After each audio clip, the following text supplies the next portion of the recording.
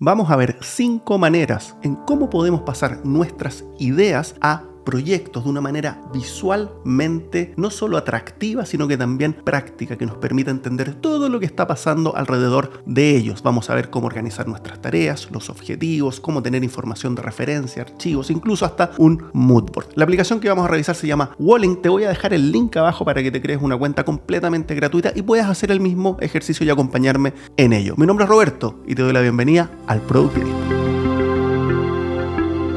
Y esta es la primera parada en Walling. Cuando te crees tu cuenta, aprieta aquí donde dice New Wall o nuevo muro. El muro es todo esto que está aquí, toda la página en blanco donde vamos a llevar toda la información de nuestro proyecto. Yo ya le puse el título, que es el rediseño web de mi web. Obviamente un emoji, incluso una foto de fondo. Tú puedes hacer todo esto y personalizarlo como tú quieras. Y lo primero que vamos a hacer, la primera sección siempre donde recomiendo yo partir son los objetivos que va a tener tu proyecto. Así que vamos con ello. Y aquí ya anoté mis cuatro objetivos. Convertir más visitantes en prospectos aspectos, mejorar la navegación, etcétera. Como tú ves, puedes eh, poner bullet points, puedes incluir archivos de referencia, muy, muy importante también fotografía, textos de, referencia, también quotes, citas, etcétera. Lo que voy a hacer yo aquí, sí, para que se vea un poquito mejor como son cuatro, puedo yo agrandar el número de columnas y voy a dejarlo en cuatro. Me salió esta adicional acá, entonces voy a mover esta hacia acá. Tú puedes aumentarlo, reducirlo según tú prefieras. El siguiente paso luego de tener mis objetivos es empezar a también lanzar mis ideas. Aquí no es solo un tema de sino que también nos vamos a ir a la parte de ideación del proyecto. Así que vamos a crear otra sección acá abajo que se va a llamar ideas. Y aquí tengo lista mi sección con las ideas que estoy considerando utilizar para el rediseño web. Como puedes ver, si me voy hacia arriba, está en mis objetivos. Yo puedo colapsar esto y dejarlo más ordenado para seguir trabajando en mis ideas. Y aquí te voy a enseñar algo bien interesante, que es el que tú puedes comenzar a etiquetar estas notas que tenemos acá para después verlas de maneras distintas. Para etiquetar una nota puedes ir al botoncito que está acá abajo y agregar etiquetas. Por ejemplo, este va a ser una idea que es del mundo del SEO, no usar tags alternativos, pero por ejemplo ilustrar más puede ser del mundo del diseño y vamos así creando distintas etiquetas para cada una de las ideas. Y aquí puedes ver están todas las ideas etiquetadas, saqué también los colores, te voy a enseñar también cómo poder utilizar los colores de una manera mucho más que solo visual. Entonces ves que algunas están con SEO y otras están con diseño. Puedo filtrar sin duda por etiquetas. Por ejemplo, quiero ver todas las, las ideas que son de diseño. Filtrar y ahí me quedan solo las ideas que tienen dicha etiqueta. El filtro está on y puedo aquí sacarlo y volver a verlas todas. Siempre están todas disponibles. Pero puedo también agregar distintas vistas. Como tú ves acá este signo más, si aprieto ahí, voy a poner una vista. Vamos a hacer una vista, puede ser en formato visual, Kanban, listado, etcétera. Vamos a seguir con este formato y vamos a hacer esta vista que sea SEO y tenemos aquí la vista SEO y en la vista SEO vamos a filtrar por etiqueta SEO. Entonces de dicha manera me quedo con una vista con todas las ideas disponibles y una vista con la etiqueta SEO. Puedo hacer sin duda lo mismo con diseño Vamos a crear la vista y en esta vista especial vamos a filtrar por diseño y aplicar el filtro. Entonces tenemos una vista con todas las ideas, una vista con SEO, una vista con diseño, perfecta manera de poder organizar nuestras ideas y obviamente ir lanzando más con distintas también etiquetas y filtros. Y teniendo ya todas mis ideas listas y categorizadas con las etiquetas y con las distintas vistas, voy a pasar a la siguiente sección donde quiero llevar la información de los textos que voy a poner en mi página web. Por lo tanto, voy a hacer una sección copywriting y voy a empezar aquí para que uno vea que no solo esto es administrar tareas ni pendientes ni cosas así, sino que también puedo administrar, como vimos antes, ideas y en este caso incluso los textos o documentación o imágenes que van en la web.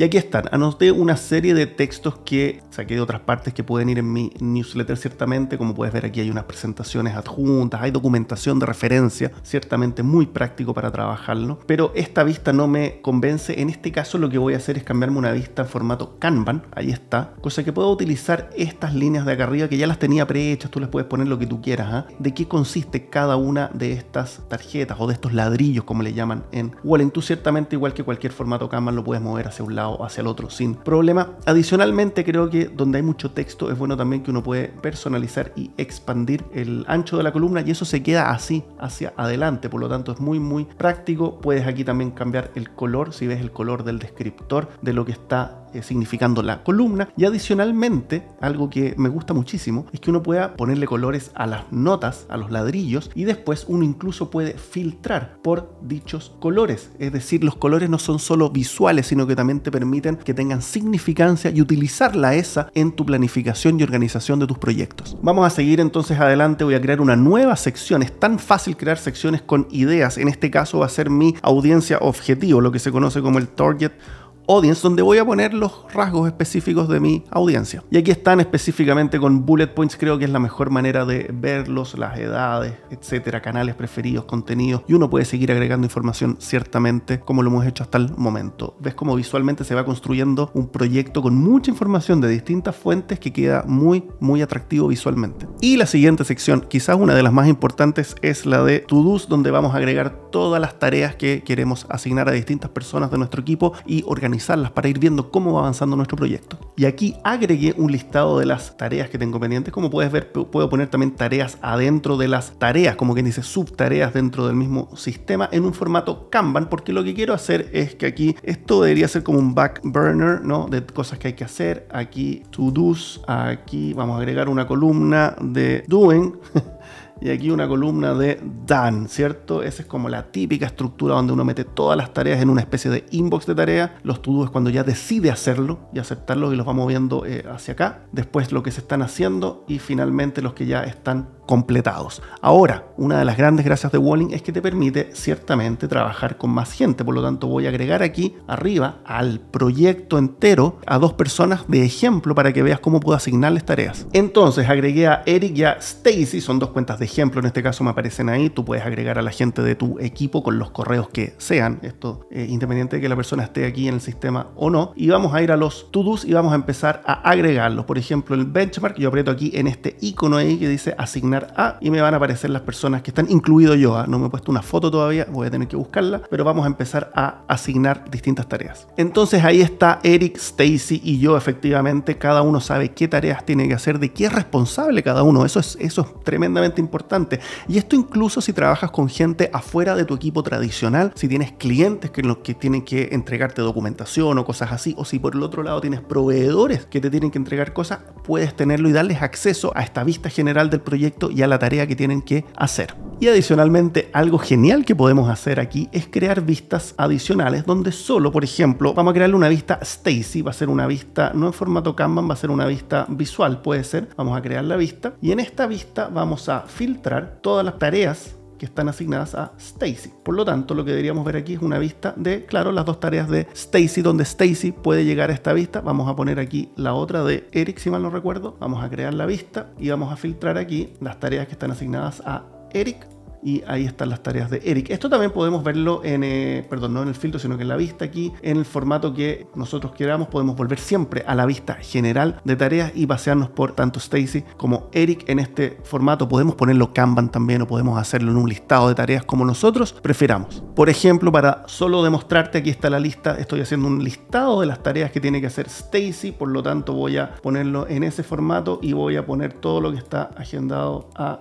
o asignado a Stacy y me quedan ahí en otro formato distinto. Lo puedo ver en este formato más de tarjeta o en el formato de listado. Tú puedes elegir lo que tú prefieras con los filtros que tú quieras para cada una de las personas de tu equipo. Y algo que siempre es útil en estos proyectos es tener un único lugar, un único repositorio de todos nuestros archivos. Por lo tanto voy a crear una nueva sección que se va a llamar archivos donde vamos a poner toda la data. Y aquí está solamente después de arrastrar los documentos aquí me quedan en este listado. Yo voy a personalizar el cómo se ve este esta sección porque en realidad no necesito estos atributos. Marcar completo no me interesa, subtareas tampoco, etiquetas no estoy utilizando en este caso, icono del item no tampoco, etcétera. Solamente quiero el listado de archivos, así que lo voy a dejar de esa manera mucho más limpia. Y finalmente, algo que me encanta siempre tener en cualquier proyecto es tener un tablero de un mood board que se llaman un tablero de inspiración, donde vamos a coleccionar imágenes, fotos, eh, documentos, sonidos, qué sé yo,